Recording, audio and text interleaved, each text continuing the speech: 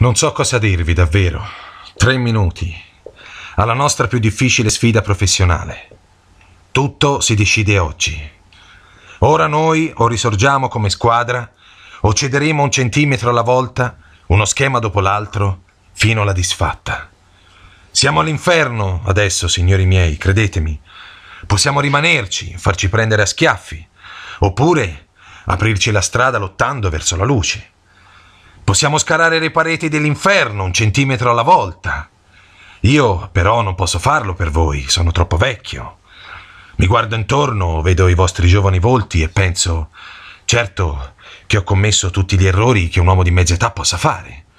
Sì, perché io ho sperperato tutti i miei soldi, che ci crediate o no. Ho cacciato via tutti quelli che mi volevano bene.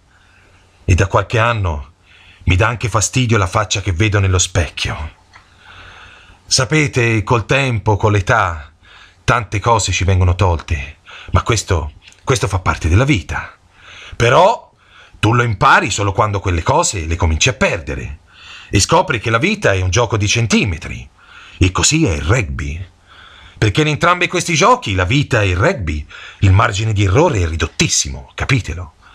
Mezzo passo fatto un po' in anticipo, in ritardo, e voi non ce la fate.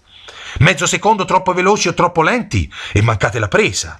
Ma i centimetri che ci servono sono dappertutto, sono intorno a noi, ce ne sono in ogni break della partita, ad ogni minuto, ad ogni secondo. In questa squadra si combatte per un centimetro. In questa squadra massacriamo di fatica noi stessi e tutti quelli intorno a noi per un centimetro.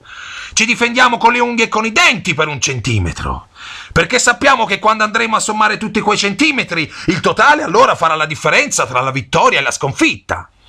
La differenza tra vivere e morire.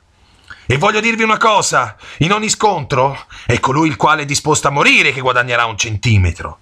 E io so che se potrò avere un'esistenza appagante sarà perché sono disposto ancora a battermi a morire per quel centimetro. La nostra vita è tutta lì, in questo consiste. È in quei dieci centimetri davanti alla faccia. Ma io non posso obbligarvi a lottare, dovete guardare il compagno che avete accanto, guardarlo negli occhi. Io scommetto che ci vedrete un uomo determinato a guadagnare terreno con voi, che ci vedrete un uomo che si sacrificherà volentieri per questa squadra, consapevole del fatto che quando sarà il momento voi farete lo stesso per lui. Questo è essere una squadra, signori miei. Perciò o noi risorgiamo adesso come collettivo o saremo annientati individualmente. È il rugby, ragazzi. È tutto qui.